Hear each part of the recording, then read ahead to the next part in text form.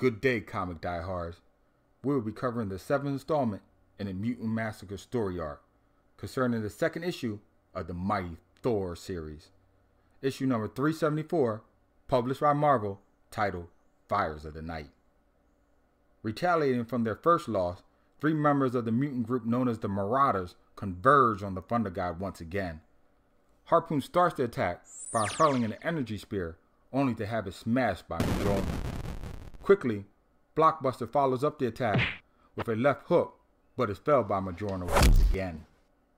Vertigo decides an indirect assault and temporary dazes Thor, but a vortex spun by the mighty mallet reverses its effects and causes the originator to stagger herself. Having enough of this mummery, Odinson slams Mjolnir's half to the ground, creating a radiant heat few mortals can bear effectively routing once again the scores of the Morlocks.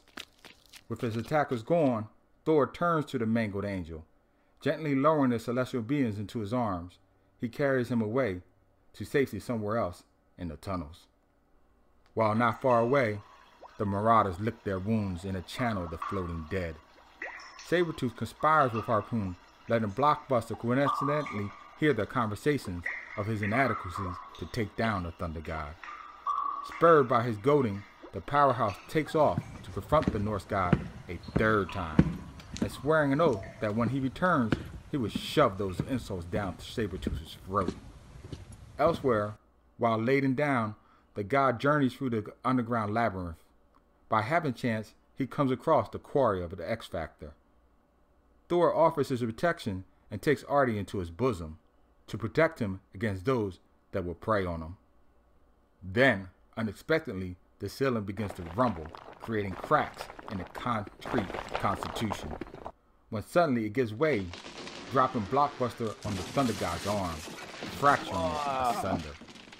Seeing the god incapacitated, the Marauder follows up with a devastating right hook, pulverizing his humerus. Seeing the Savior in peril, Angel spurs to his aid, only to be captured in the Goliath's vice-like grip. Seizing his opportunity, Thor hurls Mjolnir into Blockbuster, smashing him directly in the face, crushing his skull. The once powerful Marauder falls to the ground, never to stir anymore. While kneeling to check on Warren, Artie shows Thor that he knows the way out. Quickly, Odinson throws Angel over his shoulder as Artie guides them both through the darkened tunnels. Shortly, in a serendipitous encounter, Artie is reunited with his surrogate family in a temporary celebratory reunion. Seeing the severity of Warren's wounds, Jean levitates him to be carried away. Scott offers his thanks to Thor and then notices his injury. Instinctively, Cyclops blasts a steel ladder, melding his rung to form a sling for his friend's benefactor. The two briefly talk, and Thor accepts Scott's offer for quarter, but first the Thunder God tells him he must deal with the rotting carrion carcasses that lie below the city streets before leaving. Abandoning them in this state will create a health hazard for the citizens of Manhattan, and, and besides, they fell in battle. The Morlocks deserve a Viking funeral. While X Factor retreats to their headquarters, Thor takes his time negotiating his way through the tunnels.